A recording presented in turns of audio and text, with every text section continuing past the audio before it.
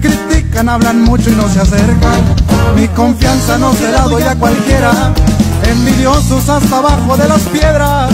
Por lo mismo siempre están llenos de mierda.